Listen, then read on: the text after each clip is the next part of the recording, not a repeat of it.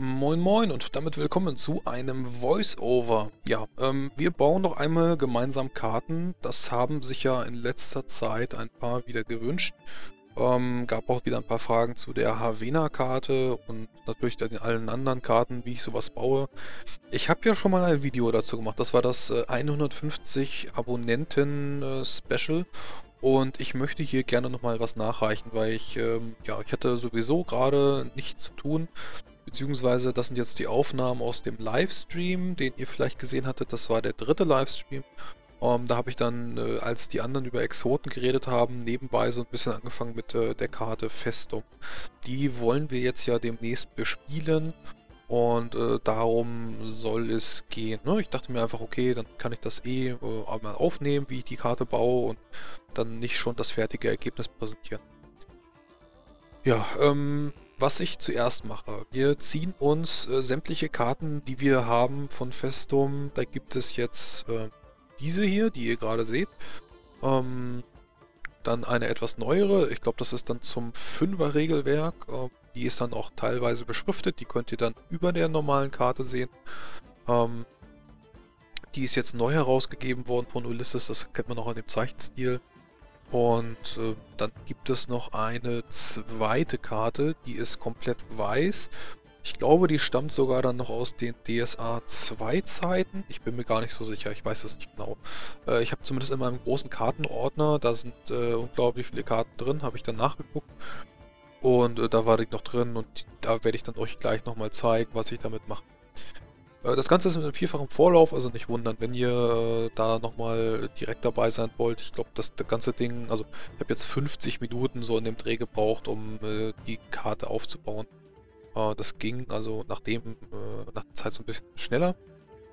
Da fehlen jetzt noch ganz viele Token und so ein Blödsinn, aber 50 Minuten, um so eine Stadtkarte aufzubauen. Dann habt ihr mal einen groben Anhalt. Ähm, wo kommen jetzt die anderen Bilder her? Ja, ich habe mir äh, die, äh, den Regionalband angeguckt. Das ist der äh, Land des Schwarze Bären. Ähm, da liest man eben, dass die äh, Stadt ja eine Planstadt ist, also äh, rechtwinklig alles und alte Speicherhäuser, unter anderem dann auch von Störrebrand und ein paar anderen Händlern. Und ja, das Bornland ist normalerweise sehr russisch angehaucht, aber jetzt gerade für so eine äh, Hafenstadt, Speicherstadt habe ich mir dann gedacht, ich google einfach mal. Das habe ich dann getan. Ähm, das sind jetzt Bilder von Hamburg. Ähm, also Hamburg Speicherstadt einfach eingegeben. Und das, was mir dann Google ausgespuckt hat, habe ich mir dann äh, gespeichert und dann einfach hier raufgezogen. Bei den äh, Bildern ist es dann quasi auch egal, wie klein oder groß sie sind. Das sind ja eh nur Stimmungsbilder. Und äh, die sollten dann so klein oder groß sein, dass äh, das sinnig ist und dann einfach um die Karte rumziehen. Mehr ist das gar nicht. Achtet da dann, wie gesagt, auch oben rechts, das habe ich einmal in Rot markiert, äh, welchem Layer ich arbeite. Die Karten werden alle im Background Layer, also in dem untersten reingezogen. Und die späteren unsichtbaren ähm, Objekte ähm, sind dann im Object Layer. Damit die Spieler die auch anklicken können.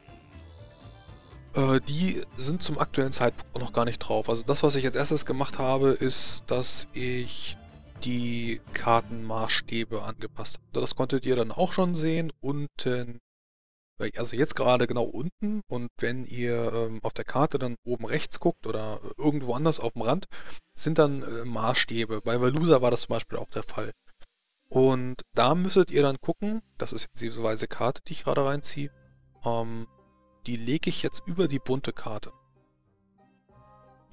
Äh, warum mache ich das mit der weißen Karte? Ganz einfach, weil auf der weißen Karte sind jetzt schon Hausnummern eingezeichnet, äh, beziehungsweise keine Hausnummern, sondern die Häuser sind markiert und haben dann eine Nummer. Das heißt, HA ist dann jetzt der Hafen und das ist dann das Haus 10 oder 11 im Hafen. Dann kann ich einfach in dem äh, Land des Schwarzen Bären gucken, ähm, was hat ähm, ja, was ist Haus 11 am Hafen dann für ein, für ein Haus? Und das gilt dann auch für den großen Marktplatz und für das Goblinviertel und Hesindedorf und wie sie alle heißen. Ähm, da kann ich dann einfach äh, ziemlich, ja, ziemlich einfach kann ich dann nachgucken, wo welche Häuser liegen, sonst komme ich da an die Informationen gar nicht ran oder müsste dann ganz, äh, ja, lange suchen. Aber wenn es so weiße Karten gibt, dann kann man die auch benutzen. Ja, was ich jetzt mache, ist einfach nur, dass ich die unsichtbaren Tokens auf die Häuser ziehe und zwar genauso groß wie die Häuser sind, wird dann auch das unsichtbare Token einfach drauflegen und da sind noch überhaupt keine Informationen drin. Also da steht da einfach nur drin äh, Minus äh, im Token Layer. Warum Minus? Ja, damit es anklickbar ist. Es muss irgendwas drinstehen, sonst kann man da nicht draufklicken.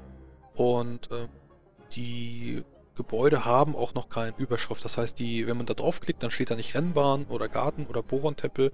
Da steht dann einfach unsichtbar drauf. Das äh, müsste dann noch einmal nachträglich geändert werden. Aber wie gesagt, also alles, was auf dieser weißen Karte jetzt eine Nummer hat, bekommt von mir einen unsichtbaren Token. Das ist das erste. Äh, jetzt gehe ich hin und ähm, leg mir meine PDF ähm, beziehungsweise das Buch, erstmal völlig egal, äh, lege ich mir jetzt neben den Computer und schreibe dann entweder aus dem Buch ab oder kann mit Steuerung C, Steuerung V arbeiten und den Text, der dann bei äh, HA2 steht, kann ich dann da rein kopieren in den GM-Layer. Ganz wichtig, ähm, denn ich als GM will diese Information haben, wenn ich da draufklicke. Äh, die Helden wissen natürlich nicht, was sich unter HA2 verbirgt. Und ähm, ja, dadurch äh, steht da wieder nur ein Minus drin. Und gut, jetzt sowas wie ein Effa-Tempel, den äh, könnt ihr euch da jetzt angucken. Die Informationen zu diesem Tempel stehen wieder im GM-Layer drin. Aber äh, von außen ist das natürlich auch als Tempel erkennbar. Also jetzt äh, sowohl Effat als auch Swafnir ja, das sieht man von außen, dass das irgendwie kein normales Gebäude ist. Und deswegen kann man da auch dann sichtbare Objekte reinziehen. Also diese, äh, die Götter-Token, die sind immer sichtbar bei mir. Gut, was mache ich jetzt? Äh, ja, nach und nach ähm, die einzelnen Häuser abmarschieren, äh, Hafenviertel, Marktplatz, äh, dann gehe ich glaube ich rüber ins Sindedorf und so weiter und jeder äh, einzelne äh, ja, jedes einzelne Gebäude bekommt dann von mir den, den Text, der da drin steht. Das ist gar nicht so sehr schwer.